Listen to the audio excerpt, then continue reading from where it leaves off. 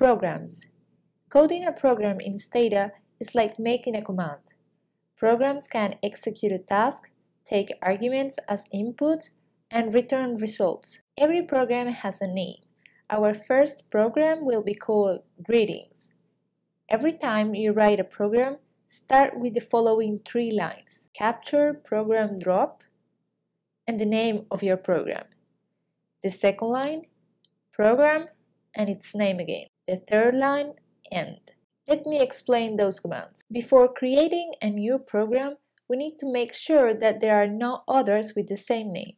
The prefix capture executes a command only if it's possible. Here, for example, we ask Stata if it's possible, drop the program called greetings.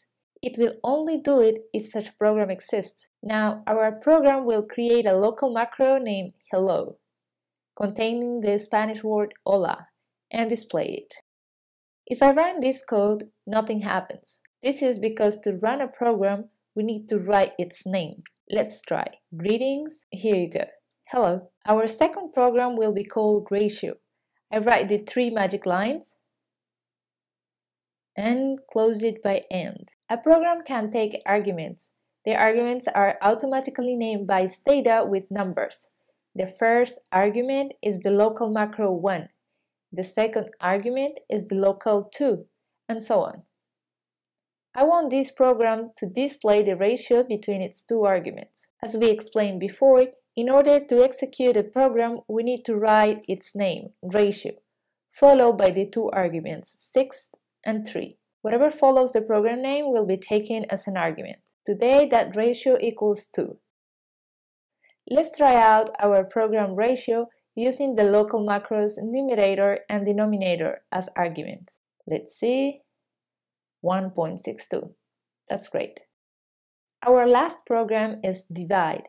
This one is special because it will save the result under the name R, like return. This type of programs that hold results in memory belong to a particular class called R class.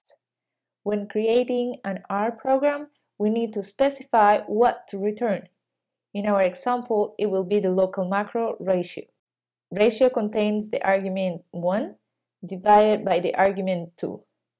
Let's execute the program divide using 6 and 3 as arguments.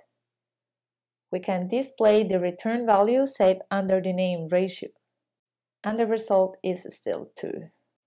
Again, let's execute the program divide using now the local macros numerator and denominator display the golden ratio, R ratio, and the result 1.62.